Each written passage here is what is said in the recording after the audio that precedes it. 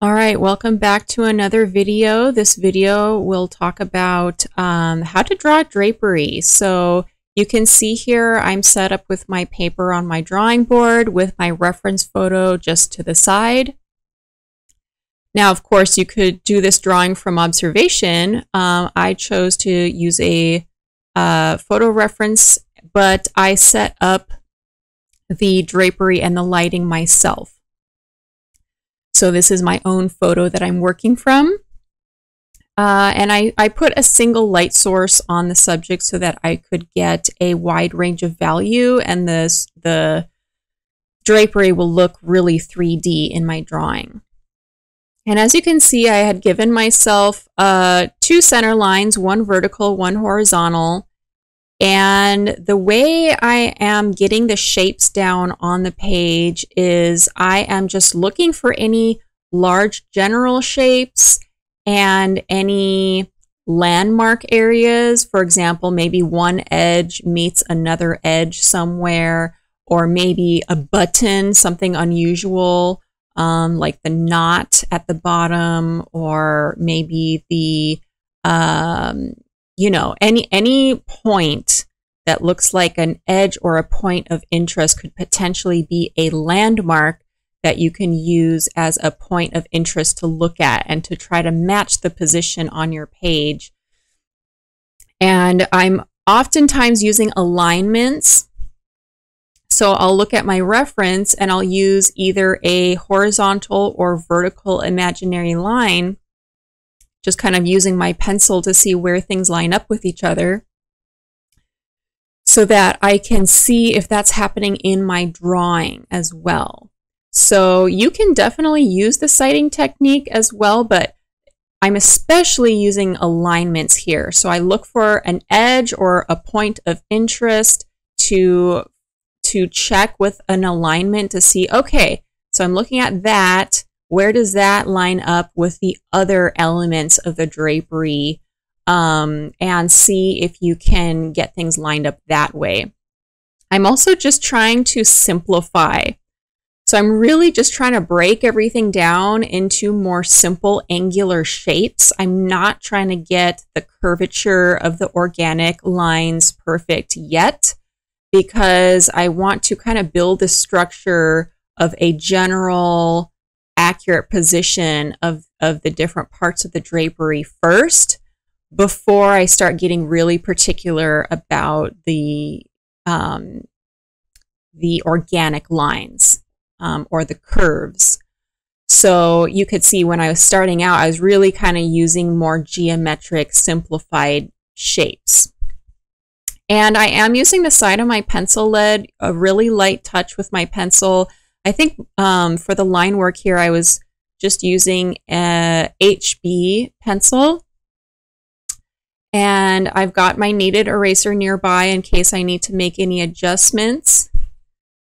So you'll kind of see sometimes my pencil will go over to the reference. So I'm basically using alignments. I'm checking with my pencil either vertically or horizontally to see where things line up to each other so I can check to see if that's happening in my drawing.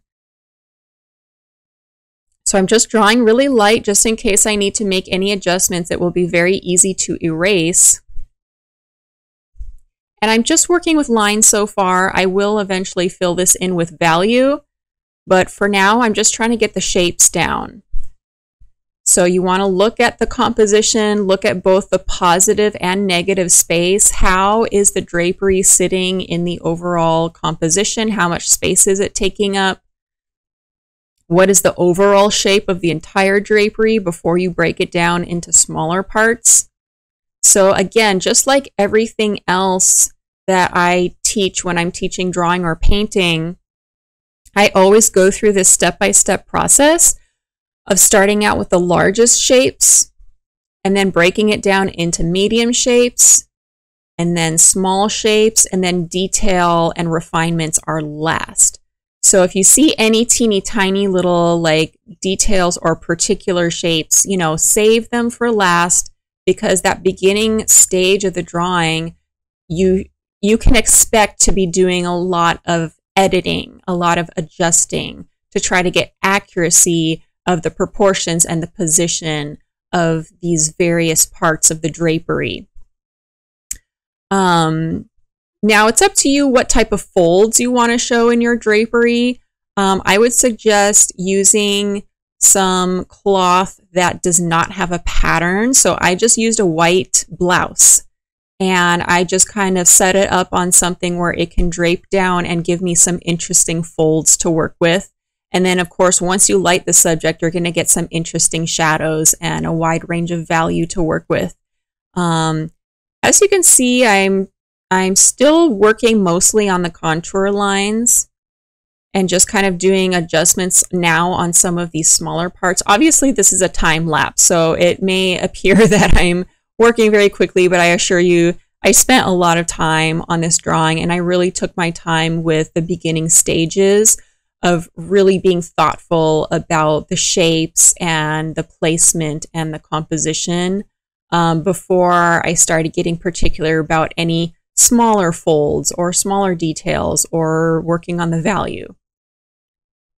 Now, if you like, if you have really uh, strong, crisp shadows, like cast shadows, like I have in my uh, reference photo, you could outline those for sure. You know, the, the, those shadows take up space just like the positive space does.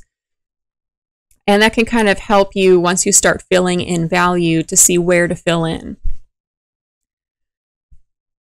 and you'll see eventually I'll, I'll add the, the line work for the cast shadow in there. But um, you can see I'm, I'm just starting to lay down a little bit of value. And I'm following the usual rule that I always use when I draw is that I'm not smudging or blending. I'm actually just using the side of my pencil lead and getting my lines real close together so I can get an even application of graphite in those large areas. And uh, it will look light at first because I only have one layer of HB. But as I start layering and moving up to my darker pencils as well with layering on top, um, I will start to be, you know, making choices about which shadows, which areas get darker. So I'm kind of like building up the shadows. So I'm working from light to dark because I'm starting out with a white paper and I'm slowly adding more and more graphite working towards those dark shadows. So remember, it can be very helpful to work this way in terms of getting a very even application of the graphite. When you start with those lighter leads like a 2H or an HB and then layer on top with a softer, darker leads, you're going to be more likely to have an even application, a, a good even look with the graphite when you layer the, the leads in that way. So um, I like starting the drawing out with an HB because it's kind of on the lighter, harder side of leads, but it's um, fairly close to the, the mid the middle point of the whole scale of all the different pencils. So I feel like it's a, a very easy pencil to work with. It's it's you know um, still going to give me an even application, but it's dark enough for me to easily see my lines. You know, the 2H is a very, very light pencil. A 2H will definitely give you the most even application. You'll notice that with the lighter leads. The lighter and harder the lead gets, once you get into that H range of pencils, the smoother the application is going to be. Once you move into the darker, softer leads, which is the B range, those are going to start looking a little bit more rough and grainy. Now, if you prefer more of a smooth look, after you lay down some of the darker leads, you can do a coat on top with a 2H again. And that, in a way, will kind of smooth out and blend out some of those darker leads a bit and that is something that I did here as well that I felt like was helpful. But in general, you know, it's it's not a bad thing if something looks a little bit grainy, but if it's starting to look messy or sloppy, just take your time and slow down and make sure that you're getting your lines close together using the side of your pencil lead for the most even application of, of the graphite. But when in doubt, if you need a little extra help with smoothing it out, you can do your final layer on those areas with a 2H, and that should help smooth it out just a bit. And once again, the reason why we're not using blending tools is because I really want to keep a strong structure to these shapes. And oftentimes, uh, when students are fairly new to drawing and they get into blending tools, they oftentimes overblend. And oftentimes they lose the structure because they blend so much that everything gets really soft and cloudy and flat. So unfortunately, overblending can actually flatten the form. So that's why I'm not using any blending tools. I'm literally just using the side of my pencil lead to fill in those values using a fairly light touch as I draw and just trying to get an even application so I can still have a, a nice, organized, realistic look to my drawing without uh, getting too soft and cloudy and flat because I I want this to look 3D because the more 3D it looks on my paper, the more realistic it's going to look. So as long as you are following those directions, no blending tools, trying to keep uh, a structured look, working from large to medium to small shapes in that order with detail last, and trying to get a range of value in your drawing according to your reference photo, then those are the main things to keep in mind. And you'll come out with a, a pretty good three dimensional looking drawing. I do think it's also nice if there are cast shadows or shadows being cast on the wall behind the drapery that you add those in as well because it does give a sense of some environment and um, makes it look like the drapery is sitting or resting on something. It just further makes it look more 3D instead of just like this piece of drapery that's like floating with like no background. So um, that's my recommendation that you, uh, you know, don't overlook those cast shadows because those can make things look 3D and also be pretty interesting to look at.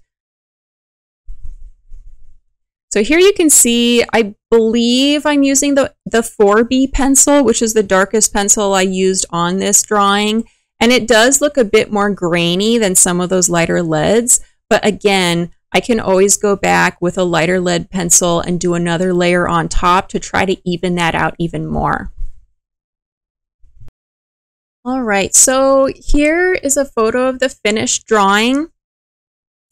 As you can see, I got a wide range of value.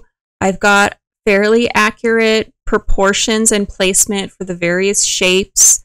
I've got a variety of different kind of folds in the drapery, so it's interesting to look at.